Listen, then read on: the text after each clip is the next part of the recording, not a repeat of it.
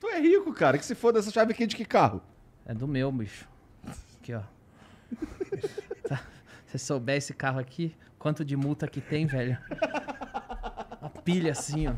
E eu dirijo direito, velho, mas é impossível. Cara, eu também andar. tomo multa pra caralho. Minha mulher fica puta comigo. Não dá. Isso aqui é feito pra, pra você ser extorquido. Não tem muito o que fazer, não. Assim, você é, tá andando ali na paradinha ali bonitinho, não sei o que. Aí tá, sei lá, aqui é 60. Ali na frente é 50 Não, e tu é descobre só no armadilha. radar. É arma... É. Não, eu fazia um caminho, era 60, 70. No outro dia eu tomei multa, descobri que era 40 agora. É armadilha. Se você andar 40, 50, você estraga o carro. Eles fazem isso, é uma extorsão do Estado. É extorsão. É extorsão. E eu dirijo bem, você sabe disso, velho. Nossa, não. Você sabe que outro dia eu trabalhava numa rádio chama é, Tropical FM, num bairro aqui de São Paulo, e tinha uma farmácia do lado.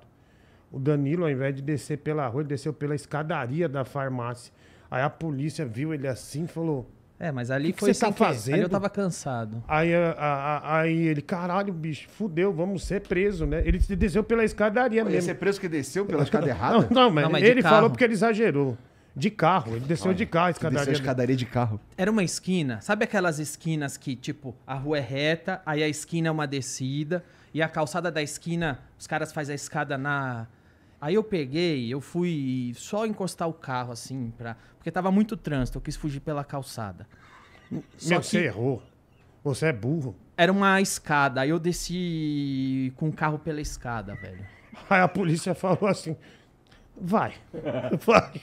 Olhou legal Entendeu? Assim, Puta, o Danilo Gentili, E, mano. ai, teve outra Puta que agora. pariu. Uma vidente anunciou que ele ia bater o carro e uma pessoa ia morrer. Que E isso? tava eu e o palhaço amendoim voltando de um show com ele. hum. Que é o meu palhaço, o empresário dele, né? Ainda vai explodir nesse Brasil. Você vir no Flow aqui, viu? Ia trazer ele. Ia trazer ele hoje, mas eu desisti. Achei que ia deixar ele entrar. Tu tem um Pa- palhaço. Palhaço Amendoim é Alegria. É um, é um palhaço assim, tá, é sucesso, ele tá, tá arrebentando, né? Faz show lá no nosso bar, no My Funk Não é nosso bar, é meu, velho. Faz tudo lá, ele tá, é tá seu, estourando. mano. O E é assim, seu. aí- aí a vidente falou dois dias antes, ó, você vai bater o carro, alguém vai falecer no, no- no acidente. Bicho, a gente tava voltando de Jundiaí do show, mas ele desviou em cima pra não ter um puta acidente. E assim, quase, algum de nós ia morrer, ou o palhaço amendoim, ou eu, que fosse o palhaço amendoim, porque eu sou pai, ele não.